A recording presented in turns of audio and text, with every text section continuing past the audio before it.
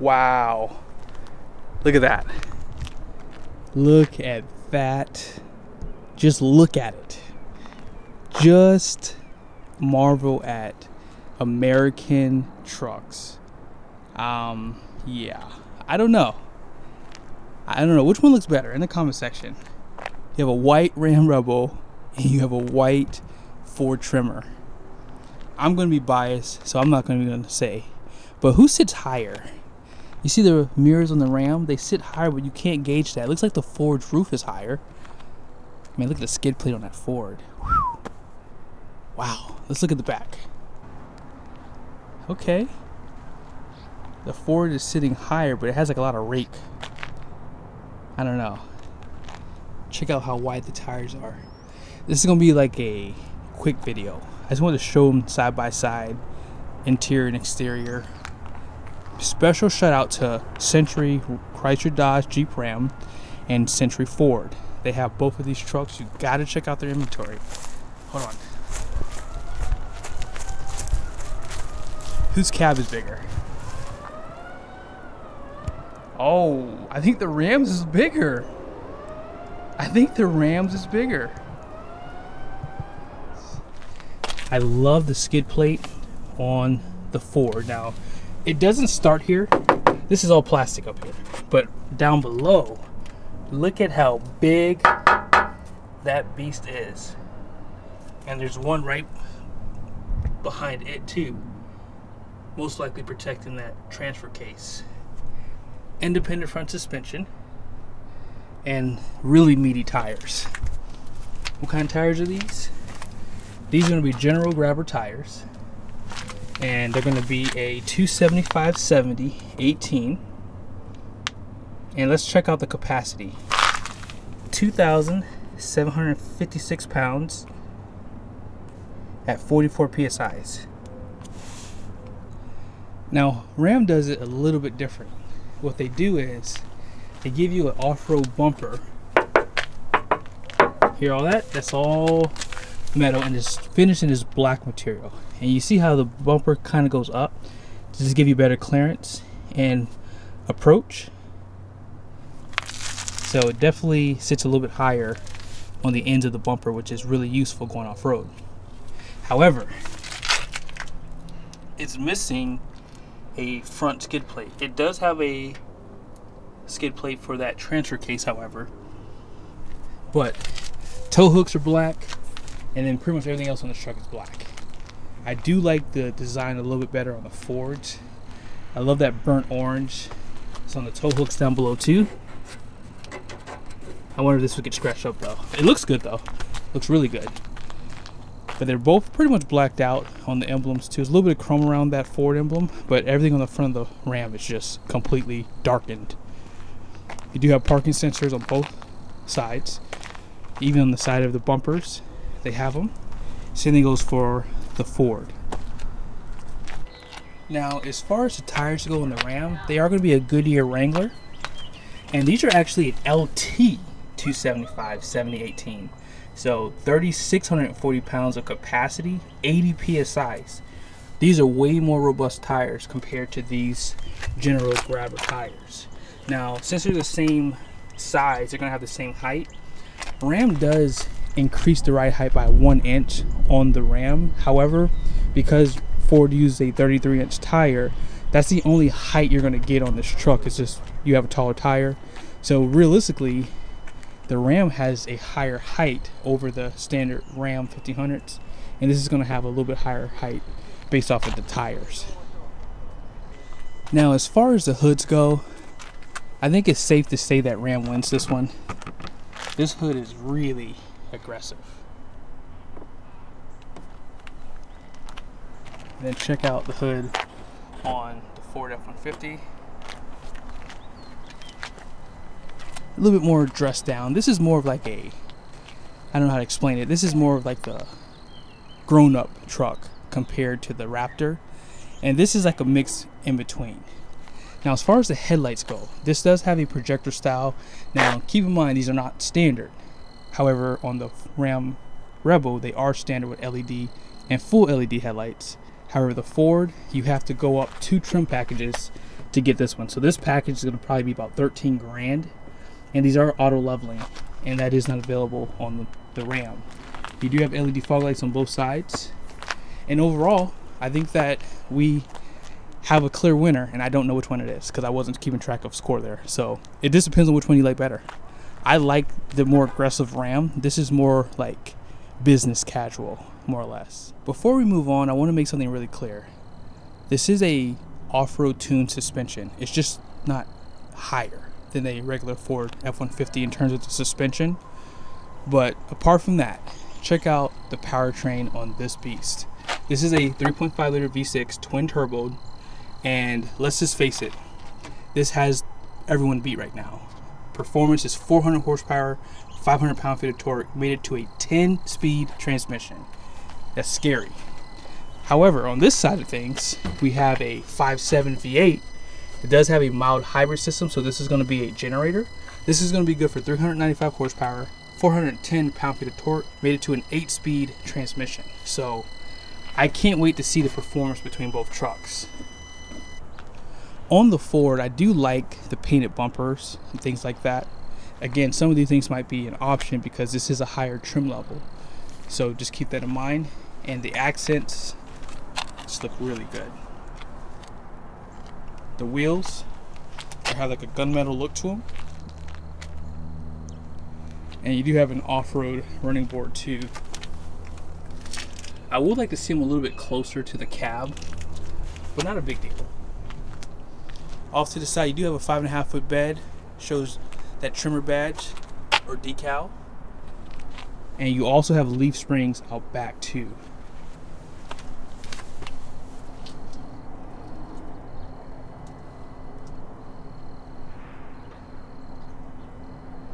You can see that it says Tremor on the back of that shock absorber to let you know that it is a off-road tuned suspension. As I talk into the exhaust, you can hear it echoing. Out back, you can see that Ford did mimic the exhaust for the Raptor. Now, this is something Ram's been doing for a long time, having a dual exhaust out back. I think it looks really good. And this one does have a 373 rear axle. I know you guys probably noticed some of that rust on the bottom. That's something that Ford has been having an issue with with these newer trucks, but they say that it doesn't affect the performance of them. Now, under this side, you do have a 392, and you can see there's no rust under there too, by the way. And they are blacked out for the tailpipes. Same thing goes for the Ford. And I like the black appearance of this bumper too. And you see that Rebel badge and a few other badges too. And then here's your Tremor badge as well. They do have some hooks down below on this truck. There aren't any on this one. They both have class 4 receiving hitches, all that good stuff. Let's check out the tailgates. They are assisted. This one does have a spray and bed liner. And a LED light for your conventional hitch. This one's a little bit more simpler. And they do give you a step on the side. And this tailgate is a lot more functional versus the Ram 2.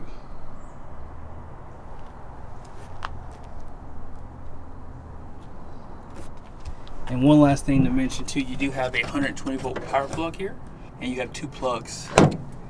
Bed lights, it is available on the Ram too. And let's check this out too. Wanted to flex real quickly on the Ram, unfortunately. So this is where things get really hard. I really do like the interior of this truck. Love the seats. These seats are big and bold. They have a great appearance to them. That same color accent that you saw outside follows it on the inside and it's everywhere. And Ford just keeps on flexing. Oop, there's a key for here. But look at that. Isn't that cool? I think that the Ford is going to win the interior for the day. I think I like this a little bit better. Everything just looks a little bit nicer. Check it out. It really does look upscale inside of here. The buttons, the big 12 inch display. This has a pro trailer backup, which Ram has that too now. trailer brake, push button start. On that note, let's go ahead and start it up. Oh, I don't have the key. Hold on one second. There it is. We have a key. We won't take too much time in here. You do have a power shift column. Again, a lot of the stuff you're gonna see in here is optional. Like it comes standard with an 8 inch display, although the RAMs is a lot smaller too, standard. But check out your digital gauge cluster, beautiful. And let's see what kind of information they have in here. So trip and fuel, it's right here. So you can check out your fuel economy, your trip one and trip two, and eco behavior, all kinds of stuff. Let's see what else they have. Truck info. Check this out. All right, so engine hours, idle, oil life, all that good stuff. And then it just shows a few other things like seat belts, power distribution, off-road. You got some uh, gauges here, and it shows the powertrain, which is the pitch and roll, tire pressure, and yeah, I think that this truck is just probably the better one because you have drive modes. You have quite a few too. So you have normal, slippery, deep snow and sand, mud ruts, rock crawl, and then it goes all the way back. And you have sport too. You also have eco, and then let's just go back to normal. And then, as I mentioned, you have this big 12 inch display. Just check out the navigation. Really big, really clear. Now, let's put this shifter back up. It's wrapped in leather with some stitching. Let's put it in reverse. Love this. You can actually uh, zoom in too if you like. Like that they do that. And yeah, everything's really clear and easy to see. My favorite spot for the auxiliary switches up here, and this one has it. This has a big panoramic sunroof, storage, and I, I, just love this cab. I think this is definitely the winner. I like the way it looks. I like the big screen. Sorry about that. My uh, camera just got really full, but check out your center console. Really deep. You have some storage and some USBs down there. And then out back, you have a 60-40 bench. You have more USBs, power plug, additional power plug up top, and you have heated seats for the outboard. And it does have LED interior lights. Now let's go check out that RAM. So check out the door card of the RAM. This is really, really nice. And this is not even the nicest actually. But you do have leather, soft touch pretty much everywhere up top. Uh, the only thing this one does not have power folding mirrors. It does have a telescoping steering wheel. And I do like the design of this. This is a 7 inch screen. I believe that Ford was like a 12 incher. But you do have power pedals down below. This one does have the 12 inch display. And you do have this little guy too. You do have your four wheel drive system here. You have auto downhill assist. You can lock that axle too. I don't know, this cab feels a little bit bigger than a Ford's. It could just be me. Um, I am surprised that they do still put incandescent bulbs inside the interior, but like I said, I think there's a, another trim level above this one for the Rebel. Like there's like a lot of packages, not trim level, but packages. But you do have some covered storage over here. I like this center console a lot better. It's a little bit deeper has a lot more like usable space and four USBs as opposed to two and auxiliary. Center console, you have a USB inside there, and you have even more storage out back. So all in all, this one does not have the panoramic sunroof, but that is available for this truck. I believe the Ford has a little bit better wow factor. This is nice. But I don't know. I don't know. What do you guys think? What do you guys think? Tell me. And you do have those seat memories. I do like the fact that you have more information and it's easier to find in this screen. And Uconnect 5 is a game changer, guys. I think this is probably the best on the market. This screen is a little clearer too.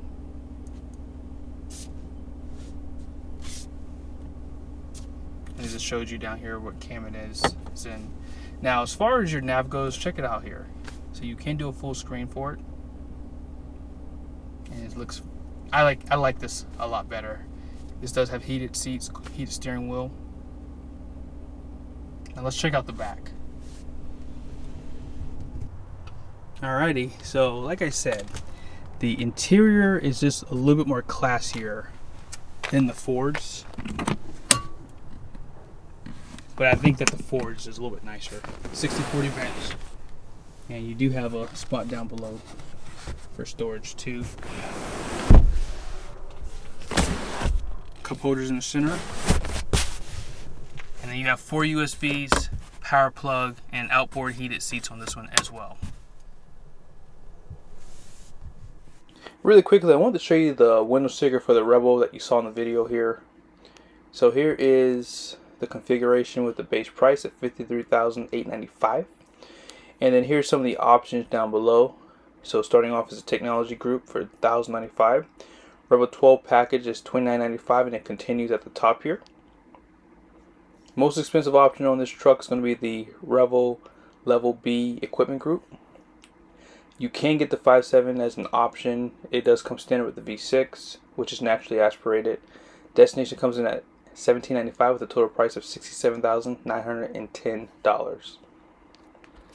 Now, as far as the Ford goes, so this one here is going to have a base price of 50,735.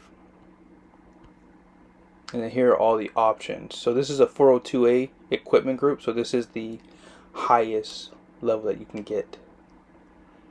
And this one does have that 36 gallon fuel tank. The Ram does come with a 33 gallon option. Here's a few other things down below.